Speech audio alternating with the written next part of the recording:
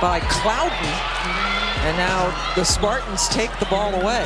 Ozment doing a nice job getting back in transition and an open triple. And finally, Michigan State We'll mention all Big Ten on the freshman team last year in the Big Ten. I think this is the Michigan State team. Look, another steal and another transition triple opportunity. Clouden, three for three. One, it's the Michigan State green in transition. Suzy Merchant now has played 11 of her 14 players. Michigan State with the depth advantage, but Notre Dame keeps chipping away Peoples with the bucket. Last two years, she's won the Hustle Award at the end of the season. She's learned how to play the game underneath and by angles. That's a big three, finally. Picked up by Walker.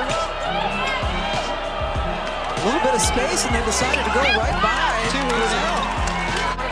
Michigan State's been fouling in this situation. Walker gives it to Brunelle. Desperation heat, and she got it! Finally, uh...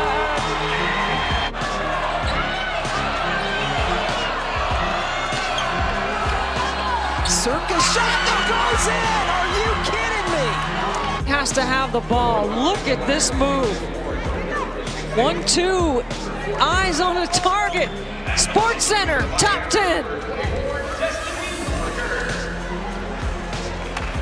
Joiner hit. Turnover.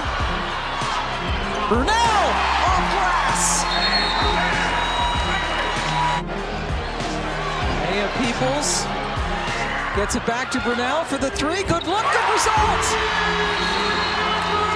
Timeout, Michigan State. Remember we said there wasn't a star yet. Well, they're emerging. There's a couple of options tonight. Brunelle, of course, high school American, given plenty of room. But terrible defensive possession. To try to send it to overtime. Brunelle puts one up.